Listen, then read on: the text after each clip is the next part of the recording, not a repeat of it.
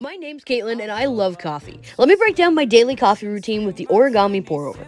There's nothing better than the smell of fresh beans in the morning. Now, first, I turn on my scale and I'm gonna weigh out 20 grams of coffee beans. Now, I'm gonna grab my fidget spinner or my hand grinder and get that ground on a medium fine setting. This is the Timemore C3 and I'm doing 16 clicks. My water is set for 205 degrees and you have to do a little filter toss for good luck. Now it's time to brew. I'm going to do a 70 gram bloom and I'm going to let that rest for 30 seconds. Following that, I keep pouring in 100 gram intervals, pausing in between each pour for the water to fully drain down until I reach my goal weight, which is 350 grams. Be sure to agitate the bed in between your pours by giving it a little shake. Making coffee is by far my favorite time of the day. I really enjoy the meditative process of it.